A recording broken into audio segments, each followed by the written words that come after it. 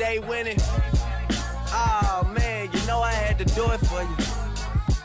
You know I had to do it for you. Yeah. Suits and ties yelling out, pay the guys, man, I had to do it for you.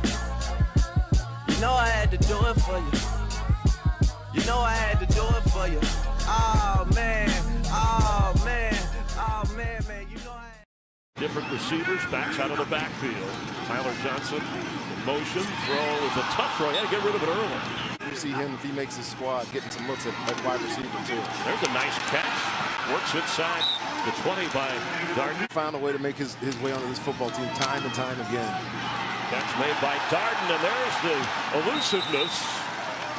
Quick He is. You got a great example of what he what he can bring right there.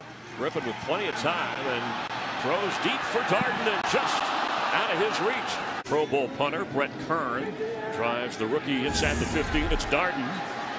Some room to run.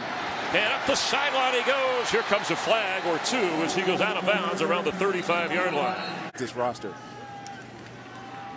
Gabbert throws low and the ball comes out.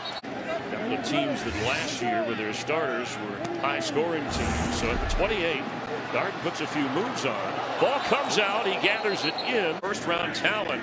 Yeah, he's had some injuries, but still waiting for him to bust out of it. Gabbert on the move delivers.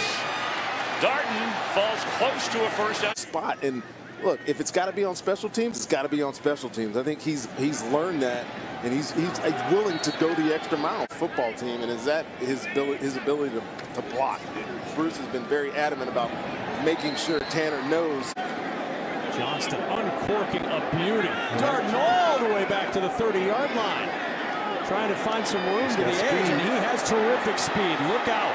Darden across the 45. 46-yard line of Houston on first down and 10. Trask pumps.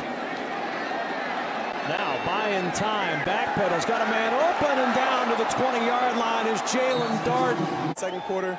Um, but this will be great for us as a defense. We're playing against the best guy in football, in the history of football. So being able to learn from these plays and what he put on the field is going to be huge for us going forward. All right, let's talk about the big picture. I've never seen Kaimi Fairbairn punch out a fumble like you did. hey, Kaimi is definitely the better kicker, as evident about what I just did. Give their offense another opportunity. Third and five, four-man rush, backside pressure. Trask pulls it down and throws this one away. Incomplete.